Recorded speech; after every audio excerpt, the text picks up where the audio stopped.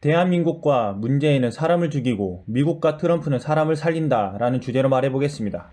문재인은 사람을 죽였습니다. 바로 탈북자 두 명입니다. 탈북자 청년들은 목선을 타고 자유가 있는 남한, 대한민국으로 내려왔습니다. 그리고 기술 의향서까지 썼습니다. 하지만 문재인과 정부 관계자는 북한 주민 두 명을 강제 북송시켜 살인마 김정은으로부터 죽게 만들었습니다.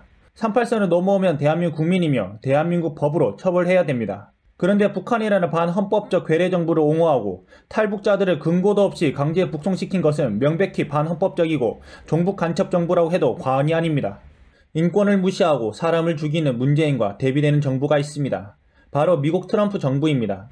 트럼프 대통령처럼 자국민을 우선적으로 챙기고 사랑하며 더욱 강력한 아메리카를 만들고 있는 대통령이 바로 트럼프입니다. 많은 이유들이 있지만 탈북자 관련된 사례를 들어보겠습니다. 2020년 1월 10대 탈북 남성은 1월 미국에 난민 자격으로 입국했습니다. 10대 탈북자는 버지니아주 리치먼드에 정착했습니다. 탈북자는 한국을 거치지 않고 태국에서 난민 지위를 받아 미국에 입국했습니다. 미국은 2004년 10월 최초로 제정된 북한 인권법에 따라 미국이 수용한 탈북 난민의 수는 2020년 2월 기준으로 총 219명으로 늘었습니다. 미국 내 20개 주에 정착했고 가장 많은 탈북자가 정착한 주는 캘리포니아주, 켄터키주, 일리노이주 순입니다. 북한 인권법은 당시 4년간 한시적인 법으로 제정됐지만 2008년과 2012년 두 차례 걸쳐 연장됐고 도널드 트럼프 대통령이 2018년 7월 또다시 2022년까지 연장하는 북한 인권법 재승인 법안에 서명했습니다. 미국은 이렇게 인권을 소중히 여기며 하나님이 주신 인권, 즉 기독교 국가의 면모를 여실히 실천하며 보여주고 있습니다. 2020년 1월 기사에는 베트남에 억류돼 있던 탈북자 13명이 강제 북송 위기에 몰렸습니다. 두려움과 공포는 이만저만이 아니었을 겁니다. 하지만 한국 김성은 목사님과 많은 성도들 그리고 미국 외교관들의 도움을 받아 안전한 장소로 피신했다고 합니다. 미국 외교관들은 지난해 11월 베트남에 체포돼 구금된 탈북민 여성 2명이 극단적 선택을 시도하다 실패하고 담요에 쌓여있는 영상을 본 뒤 사건에 개입하기 시작했다고 합니다. 그리고 미국 외교관들은 탈북민들의 강제 추방을 막기 위해 베트남 정부 관리들을 압박한 것으로 알려졌습니다.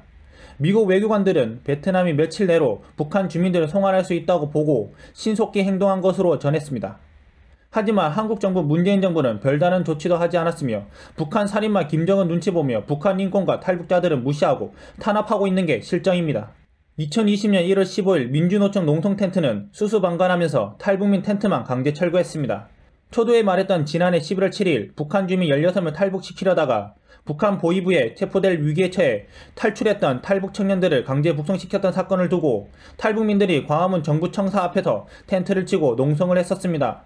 하지만 정부는 강제 철거를 시도했으며 바로 옆에서 노숙 중인 민주노총 등 노조 측 텐트는 그대로 놔두었습니다. 탈북민들이 설치한 천막은 철거 대상으로 보고 민노총 측이 설치한 것은 인권행위로 보는 현 정부의 편향적 정북 행태입니다.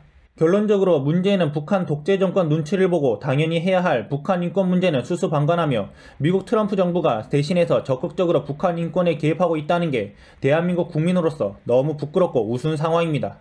인류 보편적같이 인권을 적극적으로 실천하고 한 생명을 천하보다 소중히 여기는 미국. 정말 부럽고 미국의 국민이 되고 싶은 생각까지 강하게 듭니다. 어찌됐든 문제는 분명한 북한 중국 간첩이라고 다시 한번 확신하는 계기였습니다. 이상입니다.